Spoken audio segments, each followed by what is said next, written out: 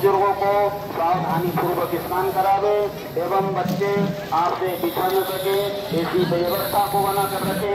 साथ ही जिन श्रद्धालुओं ने स्नान कर लिया हो, वो पूजन अर्चन कर अपने गंतव्य स्थान की ओर रवाना हो, ताकि अन्य श्रद्धालु जो स्नान करने के लिए आए हैं, उन्हें स्नान करने का सौभाग्य प्राप्त हो सके।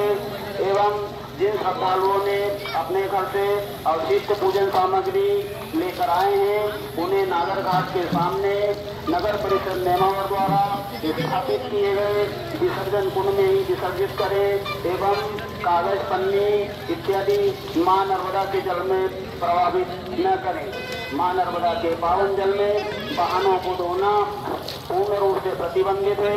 अगर कोई भी व्यक्ति या श्रद्धालु माँ नर्मदा के जल में वाहन धोता पाया जाता है तो उसके खिलाफ जुर्माने की कार्रवाई की जाएगी।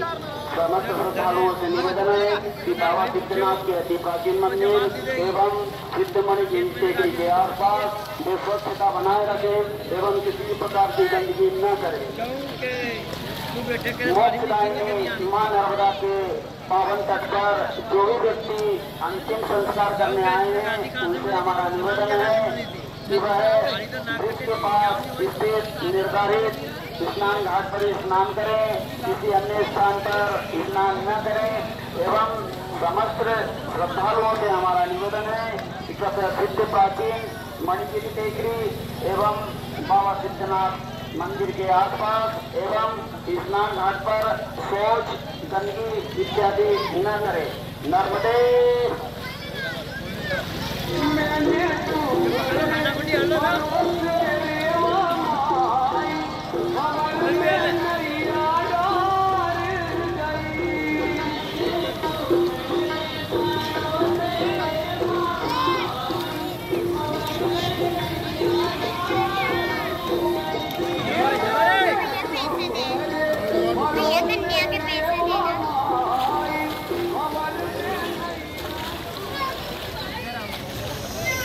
माँ नर्मदा के पावन तट सिद्धनाथ क्षेत्र एवं बाबा सिद्धनाथ की पावन नगरी नेमावर में पधारे हुए समस्त श्रद्धालुओं का आत्मीय स्वागत बंधन